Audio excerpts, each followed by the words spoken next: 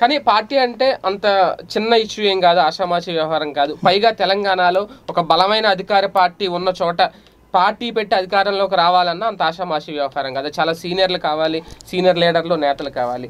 అంటే ఇక్కడ ఓకే ఓటర్లు ఓట్లు చేల్చడం ఇంకా తర్వాత మాట్లాడుకోవచ్చు. కానీ ఇప్పుడు ఎవరి నుంచి ఏ పార్టీ నుంచి నాయకులను చీల్చే అవకాశం ఉంటుంది? ఒక బలమైన టీఆర్ఎస్ పార్టీ నేతలు ఏమన్నా ఈమె వెంట వస్తారా? లేదంటే కాంగ్రెస్ పార్టీలో ఎక్కువ మంది గతంలో రాజశేఖర రెడ్డి గారి హయాంలో ఉన్న వాళ్ళందరూ ఇందాక మీరు చెప్పినట్టు ఆ రెడ్డి సామాజిక వర్గం అంతా ఇంకా అక్కడే ఉన్నారు. వాళ్ళని ఏమన్నా చీల్చే ప్రయత్నం చేస్తారా? లేదంటే ఏదో ఒక పార్టీతో అలయన్స్ నాకు తెలిసి ఇప్పటికిప్పుడు అంత సీన్ అయితే ఏముండదు.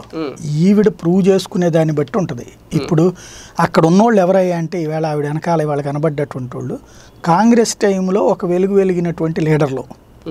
లీడర్లు కూడా పెద్దగా లేరు ఒక పాపం కొండా రాఘవరెడ్డి గారే ఉన్నాడు. ఆయన ఆయన అప్పుడు పాపం తర్వాత కూడా లేదో టీటీడీ బోర్డు మెంబర్ ఏదో ఇచ్చినట్టున్నారు. ఆ తర్వాత ఆయన పట్టించుకున్న వాళ్ళు ఎవరు లేరు ఉమ్.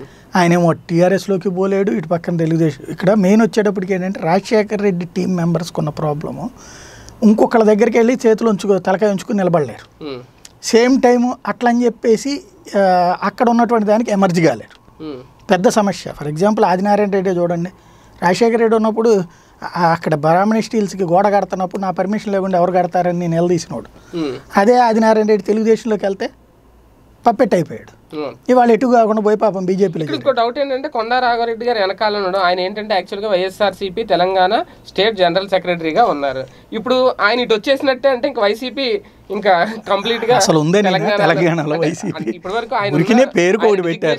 ఓ రకంగా. చెప్పాలంటే ఆయన ఇగోని కూడా హత్య చేశారేమో అనిపించింది నాకు. ఎందుకంటే వాస్తవంగా ఇంతకుముందు ఎన్నికలు రెండు వేల పద్నాలుగు ఎన్నికలప్పుడు కొండారాఘవరెడ్డి సీరియస్గానే ఎఫర్ట్ పెట్టారు. అయితే ఆయన పక్కన పెట్టి వేరే వాళ్ళకి ఎవరికి ఇచ్చారు అక్కడ అధ్యక్ష పదవి. ఈయన పక్కనే పెట్టారు.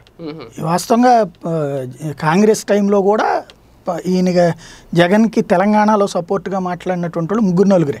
ఓ సత్య కొండారాఘవరెడ్డి గోని ప్రకాష్ ఇట్లాంటి వాళ్ళే కదా మాట్లాడింది. పెద్ద అంతకు మించి ఎవరు లేరు. మిగతా వాళ్ళందరూ సైడ్ అయిపోయారు. ముందు ఫస్ట్ మాట్లాడే కొండా సూర్యకలు వీళ్ళందరూ కూడా సైడ్ అయిపోయారు కదా. ఎవరున్నారని అప్పుడు. ఇప్పుడు ఏ కొండా సూర్యకల అంటోళ్ళు రావాలి. ఎందుకు తెలంగాణ రాష్ట్ర సమితిలో కనుక రాకపోతే. అవకాశం. ఉమ్. అది కూడా ఎప్పుడు బలమైనటువంటి శక్తిగా తయారైతే. ప్రస్తుతం కనబడుతున్న వాళ్ళు ఏంటంటే రాజశేఖర రెడ్డి హయాంలో థర్డ్ గ్రేడు ఫోర్త్ గ్రేడు పొజిషన్స్లో. అంటే గ్రామీణ కార్యకర్తలు గాను లేకపోతే వీళ్ళు మన నగరాల్లో కొంచెం హడావిడి చేసినటువంటి నాయకులు. తర్వాత ఎవరూ తీసుకోలేదు. టీఆర్ఎస్ తీసుకోలేదు టీడీపీ తీసుకోలేదు కాంగ్రెస్ తీసుకోలేదు. ఎటెళ్ళాలో తెలియక Hmm. తలడెళ్ళిపోతున్నటువంటి వాళ్ళందరికీ కాస్త ఆశ పుట్టింది. వాళ్ళు వస్తారు ఇప్పుడు. కొన్ని రోజుల పాటు హడావిడి నడుస్తుంది. ఆ తర్వాత వీళ్ళు పెట్టే ఖర్చు పార్టీ డెవలప్మెంటు పార్టీ స్పీడును బట్టి వాళ్ళు ఉండటమా లేదా అనేది తేలుద్ది.